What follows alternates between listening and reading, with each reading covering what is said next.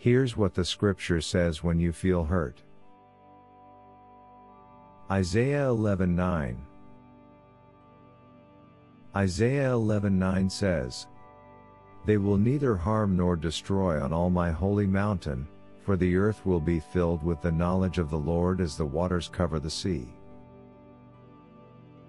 Isaiah 11:9 paints a picture of a future time of peace and harmony under God's reign. The imagery of they will neither harm nor destroy on all my holy mountain suggests a world where violence and destruction are absent, and where people live in safety and security. The holy mountain represents God's kingdom, a place of sanctity and divine presence.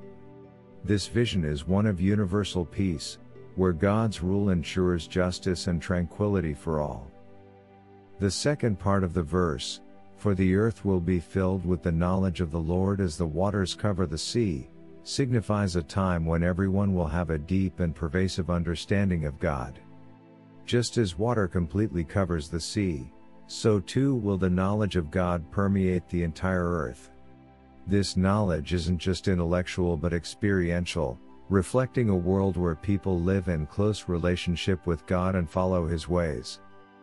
So, Isaiah 11:9 offers a hopeful glimpse of the future God promises. It reassures us that despite the current state of the world, a time will come when God's peace and knowledge will prevail. This vision encourages us to seek and spread the knowledge of God in our lives, contributing to a world that reflects His justice, peace, and love.